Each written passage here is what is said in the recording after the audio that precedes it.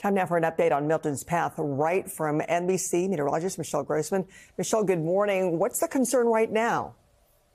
Good morning, Frances. Well, we're still seeing very heavy rain falling. The winds are blowing. We had wind gusts over 100 miles per hour during the overnight hours. We saw rainfall rates of uh, rainfall totals near 20 inches in some spots, so feet of rain, and we're continuing to see that rain falling. This is the latest on Milton. We're looking at the winds at 85 miles per hour. It's weakened to a Category 1 storm, but still bringing some very torrential rainfall to portions of northern and central Florida. It's moving to the northeast at 16 miles per hour. That's the good news. We expect Milton to be out of here later on this morning. But in the meantime, we're going to see damaging winds continuing along with uh, some devastating rains as well. We have flash flood emergencies. This is through noon today. And Milton moves off the uh, Florida coast later on this morning. That's the good news. Let's talk about some places where we're seeing the most extreme conditions. That's Jacksonville until noon today. Same with uh, Orlando. We're looking at the most extreme conditions right now through 8 a.m. Torrential rainfall right now. And then we're looking at storm surge in Jacksonville, 3 to 5 feet.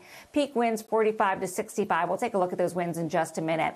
In Orlando, we're looking at the rainfall totals 8 to 12 inches. Some spots saw nearly 20, and we might go over that 20 mark as we go throughout the morning hours. We won't know uh, the devastation until that sun does come up. Flood alerts 11 million people at risk. We have flood watches, we have flash flood warnings, we also have flood emergencies. That's where you're looking at that hot pink color, Tampa included there. And we're going to see that as we go throughout the next hour and a half or so.